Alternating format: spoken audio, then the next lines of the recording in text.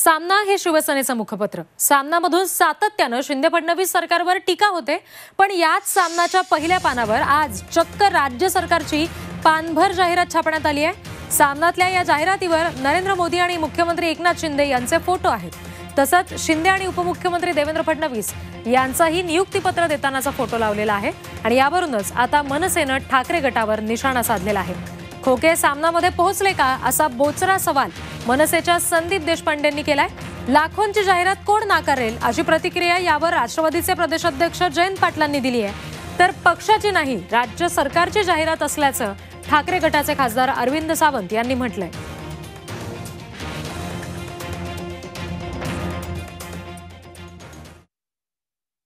आम्हाला एक कळत नाही की एका तोंडाने म्हणायचं की हे खोके सरकार आहे. आणि एका दुसऱ्या बाजूने त्यांच्या जाहिराती पण घ्यायच्या. ह्याच्यातनं एकच सिद्ध होतं की शिवसेनेचा देव सध्या हा फक्त पैसा आहे. त्या आदित्य ठाकरे म्हणणार की हे अनधिकृत सरकार आहे. मग अनधिकृत सरकारच्या जाहिराती तुम्हाला चालतात पण सरकार चालत नाही. ही कुठली दुटप्पी भूमिका? त्या बिचाऱ्या आमच्या भगिनी सुषमाताई घसा कोरडा करत फिरतायत सगळीकडे. खोके सरकार खोके सरकार. त्यांना माहीत नाही यांच्या पाठने इथे सामनाने ऍड घेऊन पैसे पण गोळा केले. सामनाच्या मुखपृष्ठावर जाहिरात आहे सगळ्या पेपरला आहे.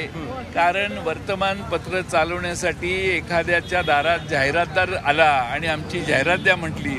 आणि पाच पाच दहा दहा लाख रुपये जर तुम्ही जाहिरातीवर एका पानावर खर्च करणार असाल तर कुठला पेपरवाला आपली जाहिरात टाळेल? सामनाच्या सामना उलटल्यावर ती जाहिरात उलटल्यावर आत काय लिहिलंय ते वाचा ना. पक्षाची जाहिरात नाही पहिलं समजून घेतलं पाहिजे. राज्य सरकारच्या अनेक विषयांच्या जाहिराती काही पहिली नव्हे सामनामध्ये येत आहेत अगदी विरोधी वेगळ्या वेगळं पक्षाचं सरकार असलं तरी येत होत्या. काले परवाकडे सुद्धा आलेले आहेत. त्या जलशुद्धीकरणाच्या संदर्भात आहेत. अनेक काही गोष्टींच्या संदर्भातल्या सरकारी योजनांच्या जाहिराती येत असतात उद्घाटनांच्या येत असतात. त्या सरकारच्या जाहिराती आहेत. सरकार कुणाचंही असो. त्यांना सर्व वर्तमानपत्रांना ते करून लोकांपर्यंत पोचण्याचा तो एक मार्ग आहे. तो त्यांना अवलंबून त्यानुसार त्यांनी ती जाहिरात आहे ती काही पक्षाची जाहिरात त्याचं याचं कुणी समजण्याचं कारण नाही. छत्रपतींचा विचार. म्हणजे